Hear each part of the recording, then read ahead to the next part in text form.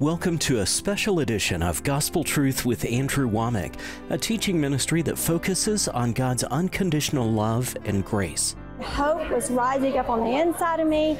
Faith was rising up on the inside of me. It was instantaneous, the change in my body. I was healed immediately. He saw my face change. He said the light came back into my eyes, and we have not turned around since. And now, here's Andrew. Welcome to our Tuesday's broadcast of the Gospel Truth. This week, I am playing portions from our Healing is Here conference in 2019. It was powerful. We saw people raised from the dead. We saw people that come, you know, couldn't lift a hand, get up and walk. We had people come out of wheelchairs. We had over 1,000 people healed in the very first service and that first service of our 2019 Healing is Here conference had Daniel Amstutz and Carlie Terradez just interacting, sharing back and forth, talking about healing. And at the end, they started praying and the gifts of the Spirit operated, and we saw over a thousand people healed from this exact uh, video that you are going to be watching today. I'm going to play that teaching that Daniel and Carly did. They're fun the way that they interact with each other, but the truth that they put forth is awesome. Watch this, and at the end of today's program, I'm going to come back and share with you how you can receive this teaching. So, we've been talking about healing, health, wholeness, and uh, how faith receives. This is a big statement, and, and, and I learned this from Andrew. I just thought it was such a great, concise way to say this. Faith receives what grace has already provided. Amen. Faith doesn't move God because God's not stuck. All right? Faith moves us to receive what grace has already provided. Mm-hmm. And because God has already provided salvation, He's already provided this abundant life that we've been talking about, then we need to learn uh, more about faith in terms of how it works mm-hmm. and how we can connect with it. Mm-hmm. Let me ask you a question this morning. How many of you, as you've been believing God for something in your life, have been told, well, brother or sister, it's just that you don't have enough faith? Oh man. It's a lie. That is so discouraging when it's you're in the midst of a battle and then have somebody well-meaning, mm-hmm. usually a, you know, a, a, family in Christ person mm-hmm. who says, "Well, brother, you just don't have enough faith." That's just not that's not what the word says. It's just I don't know how else to say it, but if you've believed that, you believed a lie. It's not. It's just not true. Or you know what, Carlie? I've heard this one too. Well, you know, Romans 12 says that we all have and, and, the way they usually phrase this is we all have a measure of faith. You just have a really small measure. Actually, we have the measure. The so, measure. What kind of faith are we talking about? Is this like a natural faith where mm-hmm. I sat on this chair just believing it's going to hold me up? Or is this like more of a supernatural faith? We're not talking about a natural faith that when you turn the light switch on, you know, the light comes on, or when you sit on a chair, it's going to hold you up, right? That's, that's not actually, what this is about. That's not faith, that's experience right? right? You've sat in a chair before, you've turned a light on before, right? So you know. So you know. We're not even talking about the, the faith that it takes to get born again, okay? There, there, there is a faith that comes on the inside of you when you receive Jesus. Amen. You have like precious faith, it says in the scripture, it says in 1 Peter, I think, like precious faith as the Son of God. You have the Jesus kind of faith on the inside of you. Do you think that's more than enough faith? Do you think Jesus is ever lacking in the faith department? Do you think he just, you know, wakes up now, I just don't know if the word is true. I just don't know if I'm really the Messiah. Am I really the Son of God?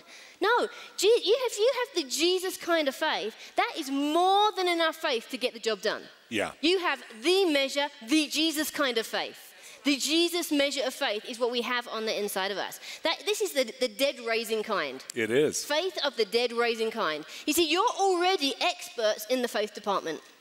Turn to your neighbor and say, You're an expert in the faith department. Yeah, you're an expert. Hallelujah. you already put your faith in Jesus. Yeah. That was the hardest step of faith you're ever going to take. How many believers do we have in here? Amen? So here's the thing if you've already taken the hardest step, the rest is going to be a piece of cake. Right. Right? Because you've now you have the power of God living on the inside of you, which you didn't have the minute before you received Christ. That changed everything. That changed everything. But the, the, thing, the thing with faith is it, it has an action to it. Mm-hmm. It has an action to it. You might have noticed that you didn't just wake up one day and find out that you were saved. Did you, anyone just accidentally fall into salvation? I mean, you just can't, I don't know, I just this glory cloud hit me or something. I don't know what it was. Woof, wham, saved. Right. No, you had to participate in your salvation, did you not? Right. Okay? So there is a promise of God. He had a promise for you. He wanted from the, from the very moment of creation, He wanted to have relationship with you. He designed you in His image to be in relationship with Him. He wanted you to be His son, His daughter from before you ever even knew Him. Yeah. He had a precious promise. In 1 Corinthians, it says, Every promise of God is yes and amen. Mm-hmm. God already made His mind up about you, and it's good. Yeah. Amen. He's already provided all the promises. Jesus contains all the promises. He fulfilled them all, Yeah. right? For you. But we still had to, at some point, say, Jesus, I want that promise. Yeah. I want that. Yes. We had to put the amen to God's yes. God's promise is a yes, but we have to put the amen to it. We, there, there needs to be some participation. Mm-hmm. And faith is our response to what grace has provided. That's right. It's our positive response that says, Yes, I want it.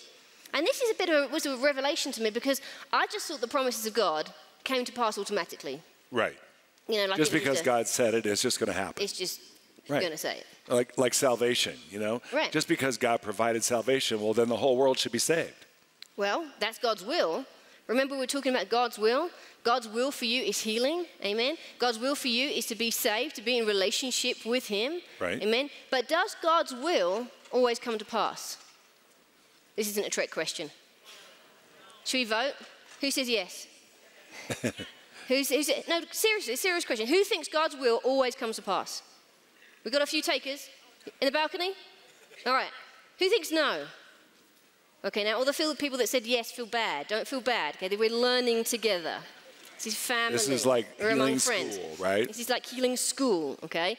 Here's the thing: God wants everyone in the world to come into knowledge of Him, but there's a real place called hell. Yeah. Now, God hasn't designed it for people, but He says that He, he wishes that none should perish. None. None should perish, but we know that some will. Yeah. So God's will doesn't automatically come to pass. Otherwise, we would be robots. That's right. We, you know, we wouldn't be able to think for ourselves, make decisions for ourselves. Everything, you know, God's will would automatically just come to pass in our life, and we would be like little robots. Right. We wouldn't have to. We wouldn't have a choice. There wouldn't be much of a relationship, right? If you just married a robot, there's not much relationship there, right? but God wanted to have relationship with us. He wanted to have intimacy with us. So He gave us free will. He gave us the ability to choose Him or not to choose Him, to receive His promises or not to receive His promises. And I love, Carlie, when God says, I've set before you life and death. Mm-hmm. And then it's almost like He goes, Here's a hint choose life. yeah. It's like a multiple choice quiz when all the answers are right. Let's see. Here's sickness, here's wellness. Uh, ch- choose. See, why, why would we believe that God wants us sick? Hmm. I mean, when you start to think about how crazy this really is, people who have told us this for years will say things like this Well, I just believe the Lord's using this sickness to teach me something. I, I believe that it's His will. Okay, then why are you going to a doctor to try to get well? Hmm. Then you're resisting the will of God by going to a doctor to try to get well. Right. If you believe it's the will of God for you to be sick, then just be sick. Yeah, and fully embrace it. Right. Go all out. Right, go all out. I mean, you wouldn't want to go against the will of God. Right. By trying to get well. You know? so you might as well just go all out with what Isaiah was saying in Isaiah 53 when he said, Who will believe the report of the Lord? Yeah. God's saying, I'm just looking for those who will believe my promises, mm-hmm. believe what I've already said, versus what well meaning people or, or not so well meaning people have said. Mm-hmm. Listen, the traditions of men will make void the power of God. That's true. When they're not lined up with Scripture, we need to learn to say no to something that might appear good in order to say yes to the best. Amen. And what God has for us is in this life, not just when we get to heaven. Listen, in this life, as He is, so are we. When we get to heaven, yes. You know, we used to sing when we all get to heaven, what a, you know, yes, it's true. It's I what didn't a, sing that because I wasn't old enough. It's probably because you were from England Five. and you went to one of those churches. We always Carry used to. on. We well, you know, I, I grew up in the Baptist church, and we used to, as kids, we had these weird ideas about when we all get to heaven, what a day that's going to be. When the roll is called up yonder, I kept thinking, is it a Danish? Ham or cheese? What what kind of roll is They it going to be? They have great food in heaven. You know. Marriage supper of the lamb. I'm just, you know. No, it's so weird how we get these strange ideas if we're not being taught the word of God Yeah. as it truly is alive and powerful. Amen. See, and the traditions of men will make void the power of God. It's not that there's a lack of the power of God or that the word of God is not alive and powerful, that, that the Holy Ghost is somehow dimmed from what he used to be. Hmm. No, the fact is, Jesus is the same yesterday, today, and forever. It's like God is just saying, Who will believe my report? Right. What are you willing to believe for versus what people are telling you to believe? Why is it so much easier to believe what somebody else said instead of what God said? Right. And it's so true. You know, you're saying that the, the, power of God is there. It's there, it's ready, it's on, it's always present. It's always It present. to heal. Yeah. There's, n- there's not an off switch. Right. That's just what it is, right? The power of God is always there for us, always available. Remember, we're carrying around the power of God on the inside of us. Yeah. Right? I can walk over here and the power of God's going to go with me. Even Right. on this side, the power of God. This side. Is the power of God over here? Let's just check in. Is it good? Is it good? You're good? What about in the middle section? Is it good? Amen. Ooh, they're really excited. What? what about over here? Far in the back. What about up there? We good? Over here. You got the cheap seats. Yeah? Okay, good. Okay, So- here's the big one. What about on the internet? Ooh, ah. Can you shout louder? Louder. We can't hear you. Oh, we hear you. We hear you. Here's the thing the power of God is in us. It's in us, it's through us, it's always yes, it's always amen, it's always on. Amen? But if we want to tap into the power of God, faith is the, is the access code. Faith is how we access the promises of God that grace has provided. We have a part to play in, in seeing the power of God flow through us, touching our body and the people around us. Yeah. Amen. Well, you mentioned this in, in Matthew 1 8, but freely you have received. How many people have freely received? Freely. Okay? So freely give. Yeah. That's if you've received, give it. If you received, give it. It's hard to give what you haven't received, right? There's a, there's a process there. But faith is how we access what the promises of God have provided. But faith in itself is not passive. Mm-hmm. There's, no, there's nothing weak, there's nothing timid, there's nothing intangible about faith. You can, it says many times in the scriptures that Jesus saw their faith. We can see faith in people. Right. We can see the effects of, of faith on people's lives, in the words that they speak, in the actions that they take. It is tangible, it is real, it is a force to be reckoned with. Absolutely. And we have the faith of Jesus on the inside of us. Hebrews um, 11 is a great definition that you can find in the Bible on faith. And it doesn't matter really what translation you read this in, it's going to start the same way, okay? So uh, I've got it here. It says, uh, Now faith is. Say, now faith is. Now faith is. Okay? If you don't have that underlined in your Bible, get your marker out and just underline Yep. it. Those three words, now faith is, okay? Is the substance of things hoped for. It has substance to it, it's Yep. real. It is the evidence of things not seen. For by it the elders obtained a good testimony. So it's substance, it is the substance of things we first hope for. If you didn't hope for a change in your life, you wouldn't have walked in the door That's right. right? That's a fact. If you didn't believe that God had something good for you or better for you than what you're experiencing today, you'd have never registered, you'd have never walked in the door, you wouldn't be where you are today. So some of you wouldn't even be alive today, okay? There is, there is hope, but it gives birth to faith. And it says faith is the substance, it is the manifestation of the things you first hoped for. Yeah. See, hope doesn't disappoint. That's right. We need to have a godly hope. Yeah. The, the, a godly hope is linked to our imagination. Right. If you didn't imagine yourself in a place somewhere else than, than how you walked into th- this room today, you wouldn't be here. You might have imagined yourself getting on an airplane. You might have imagined yourself driving in a car or however it was that you got here, traveling long distances, coming into the building. You might have imagined in, in yourself how you were going to receive your healing, Yeah. what it was going to look like, what it was going to feel like. What you might have imagined yourself giving a testimony. This is the power of the imagination that comes from hope. Well, faith is all of those things manifest. Yeah. It is the sub, it is the substance, the point at which things you hope for Mm-hmm. come into this physical world. Amen. And this is why we need to pay attention to it. It says it's the evidence of things not seen. Mm-hmm. Faith has evidence. Yeah, it does. How do you know when you're in faith? There's evidence. Yeah. Right? There's evidence associated with it. Mm-hmm. And so we, we, we, we throw this phrase around, don't we? We're taking it by faith. Mm-hmm. All that means is we're taking something that we know to be true in a spiritual realm. Right. Okay? And it doesn't matter to us whether we've seen it in the physical realm or not yet. Because it happens first in, a, in, a, in the spiritual realm. So we're kind of seeing it inside out. We're seeing it inside out, exactly. But what faith does is it pulls things from a spiritual realm into a physical realm. Mm-hmm. It, doesn't, it, doesn't, it doesn't really care what you see, Right. right? It- Faith, faith doesn't care what it looks like. Faith doesn't care what it feels like. It's operating outside entirely of our five senses. And this is why we started out um, in the last session talking about how sometimes our previous negative experiences can um, filter how we interpret the Word of God. Right. Or we can let our experiences become of a higher value and importance than the Word of God in our life. Absolutely. But you know, in Romans it says to be spiritually minded, Romans 8 6, to be spiritually minded is life and peace. Who wants to be people of life and peace? Amen. All right, that's being spiritually minded. To be carnally minded is death. Who wants death? Any takers? It usually goes about that way. You Yeah, know, know. never any takers for the death. I don't know. Yeah.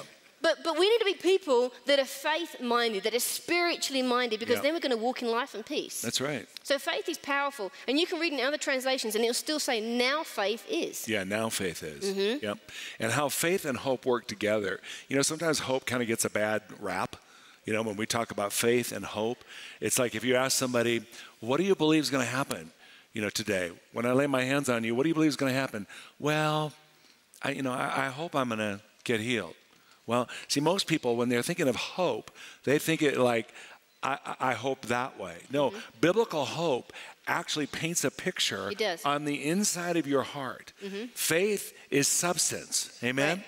Of what? Things hoped for. Yep. So instead of seeing myself sick, oh, poor me, I'm just trying to get well, I hope so.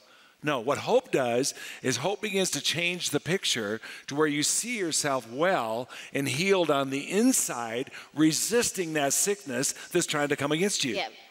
Hope begins to paint a picture that says, I'm going to go with the report of the Lord. Even though I'm not seeing it yet on the outside, here's what hope is changing using my spiritual imagination.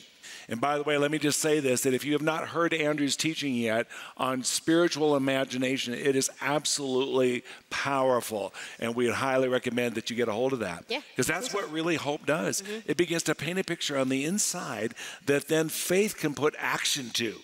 And once faith begins to put action to this, it takes it from just a belief to something that you're acting on. Yeah. See, I can believe I'm well and do nothing about it. Right.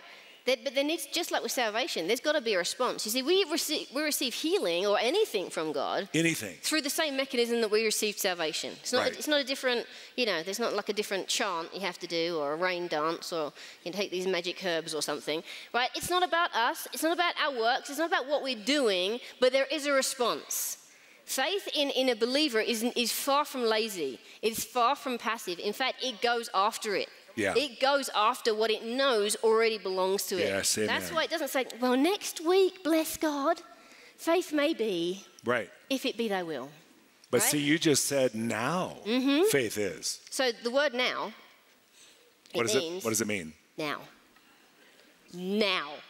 Now faith is. I believe that there are people in here that are receiving their healing now. Now. Amen. Now. Now.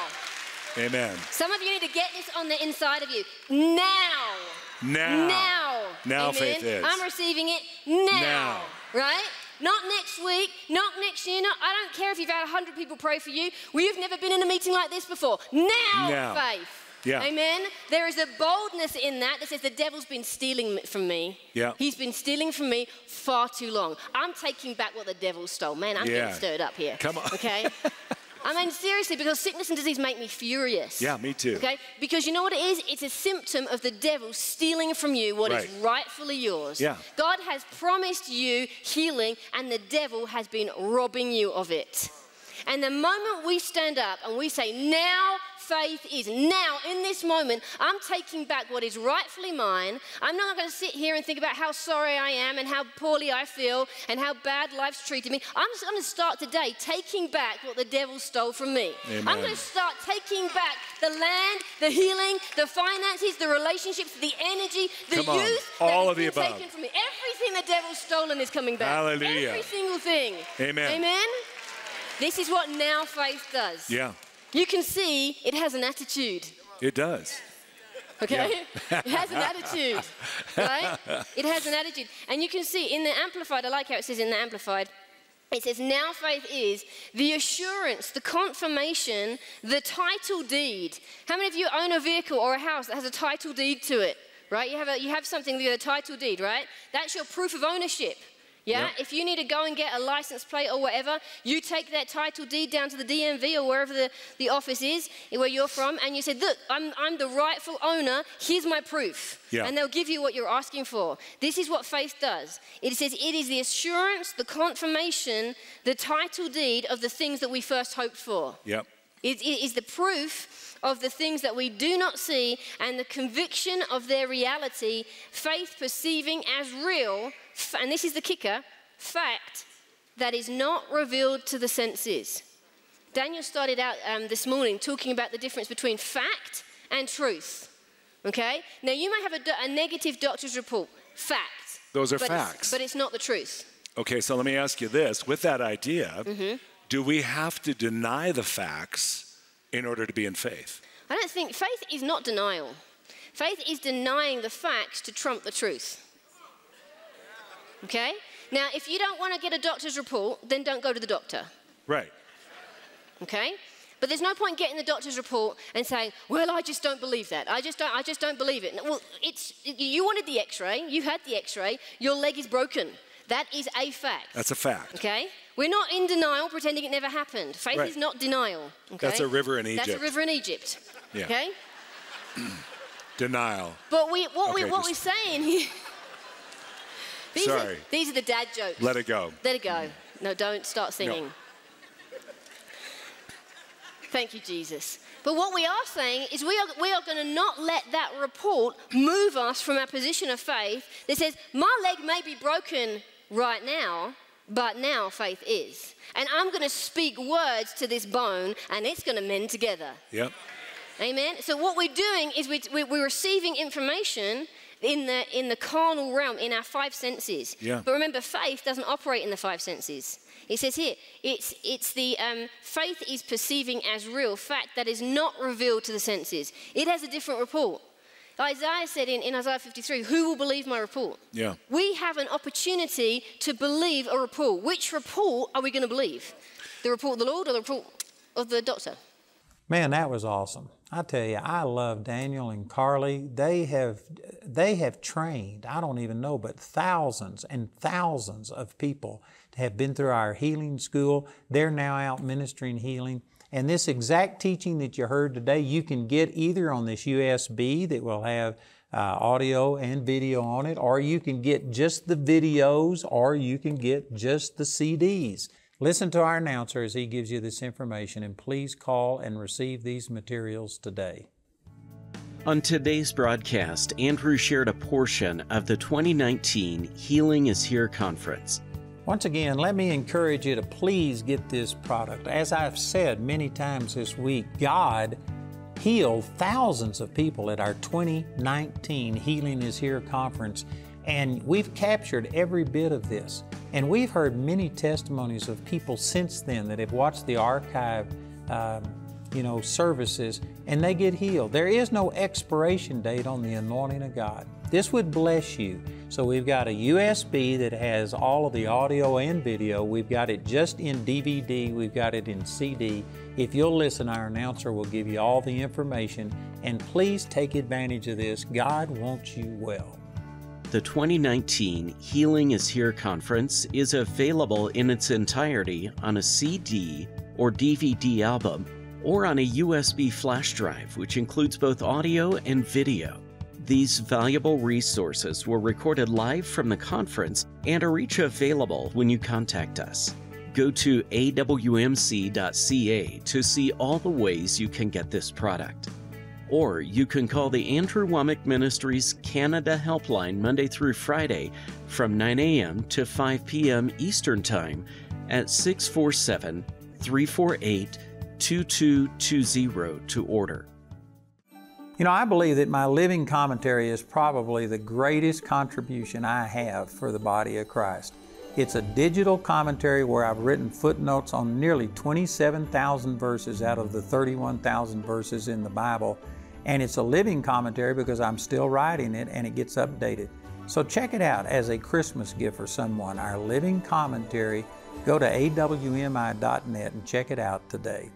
Now through December 31st, you can get Andrew's Living Commentary for 25% off. This living commentary is packed with Andrew's footnotes on over 26,000 verses.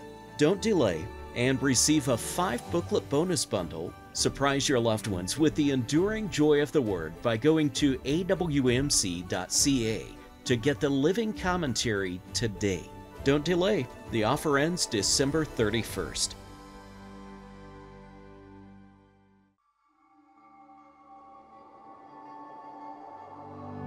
You were created with a purpose. Written in the heart of God, long before you were born. He is calling you to find it. You were born for such a time as this. To be a disciple, to leave this world behind and follow Him. You were designed for a destiny, one that only you can fulfill. Go ye therefore and teach all nations, baptizing them in the name of the Father and of the Son and of the Holy Ghost. And lo, I am with you unto the ends of the world. We want to help you to be equipped and empowered to become a world changer. I'd like to let all of you, our Canadian viewers, know that we have a Bible college in Toronto. And we would love to have you come and be a part of it. There's multiple ways you can take advantage, not only through the campus there in Toronto, but we have online courses, we have correspondence courses, uh, just a number of ways. But we want to help you, and we're making it as available to you as we possibly can. So check it out. The information's on your screen, our Charis Bible College, Toronto. If Andrew's teachings are making a difference in your life, consider becoming a grace partner with Andrew Wommack Ministries Canada today. Go to awmc.ca or call our helpline Monday through Friday from 9 a.m. to 5 p.m. Eastern Time at 647 348 2220. Also, to learn more about the vision and mission of Andrew Wommack Ministries Canada, be sure to visit our website at awmc.ca. While there, you'll also find details about all of the products available and be able to access many of Andrew's teachings absolutely free. Remember, that's awmc.ca. Thank you for your support, and we look forward to hearing from you today.